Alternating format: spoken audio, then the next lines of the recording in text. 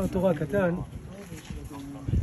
אחרי כמה ימים שככה, הנשמה שלנו יצאה בגעגועים, מאז תשעה באב, שהיה סגור האב, לצערנו. אה, יש סיפור מאוד חשוב של רבי נחמן על מעשה מבן מלך ובן שפחה שהתחלפו. שהרב מיכי פה, קיבוץ של אנשי, הצ... אנשי הצדיק. אה, יש לנו מציאות בעייתית בעולם, שהבן מלך והבן שפחה התחלפו. יש סדר בעולם, הסדר זה שהמלך בארמון והמלכה בארמון, ויש ייחוד של קודש בריך ושכינתה, ונמשך חסד עליון לשכינה הקדושה בקודש הקודשים, כשהדוד והראיה ביחד, והבנים סביב להיכל, סוס תסיס ותגל הכרה בקיבוץ בנה לתוכה ושמחה. ולפעמים יש מצב של מחלה שקוראים לה בן מלך בן שפחה שהתחלפו, שכתוב בספר משלי, תחת שלוש רגזי ארץ, תחת עבד כי ימלוך, ושפחה כי תירש גבירתה. אנחנו רואים את זה שזה כאב גדול.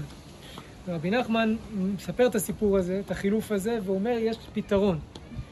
פתרון מורכב משני חלקים, ונוסיף עוד חלק שלישי מבעל הסולם. השני חלקים שרבי נחמן אומר, קודם כל, אומר היה גן. והבן מלך האמת הבין שאפשר להחזיר למדינה את השם הראשון, שזה מדינה שיש לה מלך חכם, שמלך מלכי המלכים יחזור למלוך בה. ואז הוא הבין שאין באמת שום מונע, אין שום דבר שמונע מאיתנו להביא את הגאולה. הכל זה רק אשליות. וצריכים לקחת את הפורטרט של המלך שבמה והשלום ולשים אותו במרכז הגן. יש על זה כמה הסברים, הרב מיכי בטח ייתן לו כמה, כמה הסברים. הסבר אחד זה הדמות של שלמה המלך. שלמה המלך הוא מלך שחיבר את שלושת הכוחות שיש בעם ישראל. הרב קוק אומר באורות התחייה י"ח שיש שלוש, שלושה אה, כוחות מתאבקים במחננו. אז זה השרים שנכנסים לגן וכל הזמן יש בתוכם מלחמה. הכוח הלאומי, הכוח האוניברסלי והכוח הדתי, תורני. וכל הזמן יש מלחמה, ימין, שמאל, דתיים, יש כל הזמן מלחמת אה, עולם פנימית כזאת. הוא אומר, צריכים לשים את הפורטרט של המלך שבימה והשלום במרכז הגן. זאת אומרת, לשים במרכז את הצדיק, את הדמות של שלמה.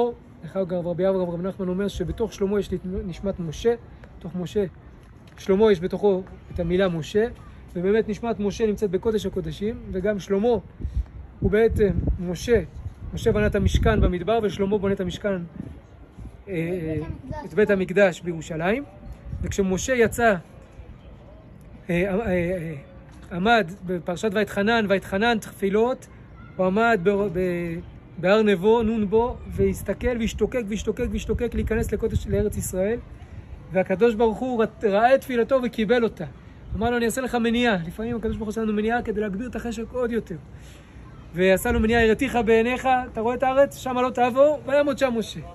אומר באברהם נחמן, בהסתלקותו זכה להוציא לפועל ולבוא ולהיכנס בקודש הקודשים, עדן, עין לא ראתה, שבבית השם ועיר השם שבארץ הזאת. וזה סוד הכתוב ראשית בקורי אדמתך תביא בית השם אלוקיך. שהסתלקות והתעלות תשמעו גדולי הצדיקים ולבית השם אלוקיך. זאת אומרת שגם אדמו"ר ז"ל, שמע שרבנו, כל הצדיקים הגדולים נמצאים בקודש הקודשים. ואחר כך אומר שבתוך משה שנמצא בקודש הקודשים, הוא הופיע בתור שלמה ובונה את המקדש. אז אנחנו צריכים לקחת את הדמות של הצדיק, ואת מצידי הגן, מאומן, מחוץ לארץ, מ... ולשים אותו במרכז הגן. ולשים את, המר... את הדמות של שלמה המלך במרכז הגן, מה העניין של שלמה? זה לחבר את שלושת הוקטורים הללו, שעושים מלחמה בתוך הגן.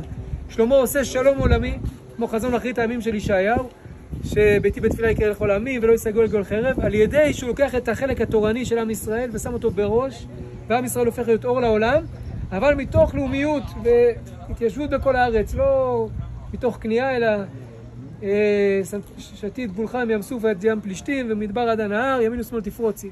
שלושת החיבורים האלה זה הדמות של שלמה המלך, ואת זה ברגע ששמים את זה במרכז הגן, אז פתאום הימין, השמאל והדתיים יכולים להתחבר. לכן הר הבית הוא המפתח לאחדות בתוך העם. כי יש לנו שלוש כוחות שהם, כשאנחנו לא בהר הבית הם נאבקים. ברגע שמתחברים לדמות של חזון אחרית הימים, של שלמה המלך, של שלום עולמי, כשעם ישראל הופך להיות ראש לאומות והוא בראש הערים, מתוך גבורה ישראלית ושלמות של לאומיות, ועל ידי שהתורה הופכת להיות ראש לעולם ואור לעולם, אז אנחנו עושים שלום פנימי.